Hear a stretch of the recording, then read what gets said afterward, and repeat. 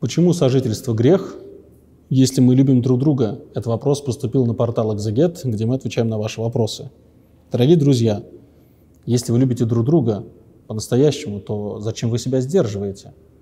Когда я, например, люблю э, телефон, и мне нравится там последняя модель телефона, то я ее берегу.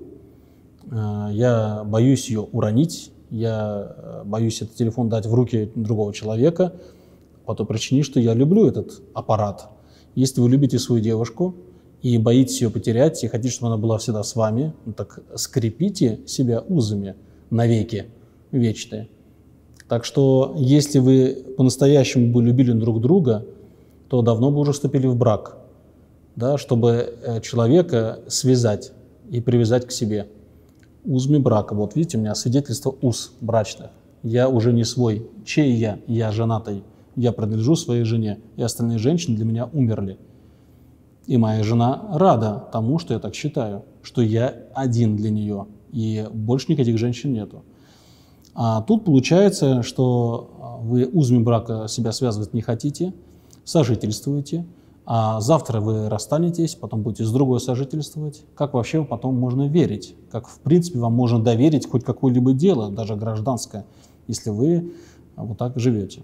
Но отдельно хочу заметить, что бывает, когда люди сожительствуют, и они собираются вступать в брак а, в будущем, и они говорят, да мы хотим, просто у нас не хватает денег или еще что-либо. Хочу заметить, что, конечно, для человека, который не признает авторитет Господа Бога, который не считает Священное Писание божественным откровением, конечно, для него мой ответ ничего не значит. Но если у вас в жизни все-таки Господь Бог есть, то нужно доверять Господу Богу, который сказал, что блуд – это грех. И сказано в Священном Писании, не обманывайте себя, никакой блудник Царство Божие не наследует.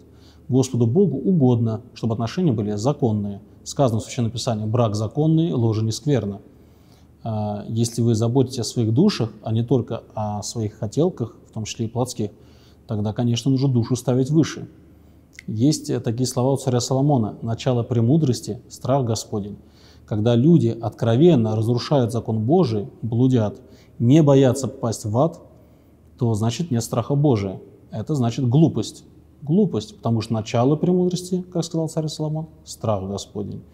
Советую все-таки помнить, что Господь Бог может не только нас Царство Божие, но может и в ад отправить. И не нужно думать, что Господь Бог не сможет это сделать. Об этом в Священном Писании написано многократно. Если человек осознанно идет против Господа Бога, не боится Его, по сути, не хочет быть с Ним, ну как этого человека спасешь?